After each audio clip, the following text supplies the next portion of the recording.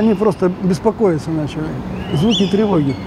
А как беспокоятся местные жители? Соседство с Коршуном, его подругой и потомством стало невыносимым для жильцов дома на Малахова, 79. Детская площадка пустует. Люди с опаской смотрят на небо. Птица уже много раз нападала на взрослых и детей. Специалистов такая агрессия удивляет. Коршун оказался с характером.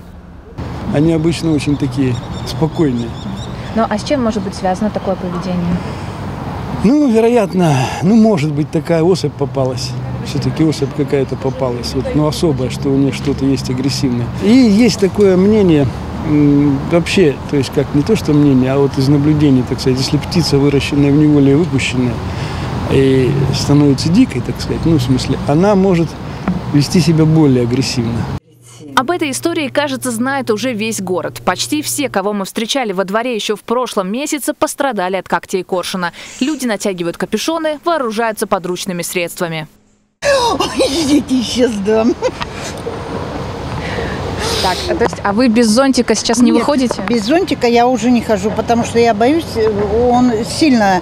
Мы на скамеечке находились, и мужчину стукнул так, что было слышно звук вот этого вот, э, как он клюнул, в администрацию Ленинского района поступали обращения от местных жителей, но там сегодня сообщили, что нападки Коршуна не относятся к компетенции администрации. Орнитолог Виктор Петров считает, что для начала необходимо проверить, есть ли вообще в гнезде яйца или птенцы, чтобы понять, стоит ли ждать, когда птицы покинут гнездо или уже изъять его, чтобы выкормить птенцов.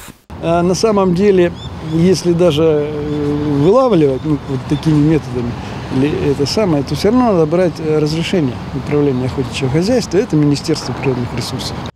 Несколько наших источников настаивают, что это действительно сфера ответственности Министерства природы. Но в ведомстве в очередной раз заявили, что коршун не их проблема. Справедливости ради, представители Минприроды уже выезжали на место и хотели изъять гнездо. Но жители другого дома, которым коршун не мешает, не дали этого сделать. А тем временем редакция «Толка» подготовила запрос в правоохранительные органы. Неужели ни одно из ведомств не может решить эту проблему без вреда для птиц и людей? И почему до сих пор это никто не сделал?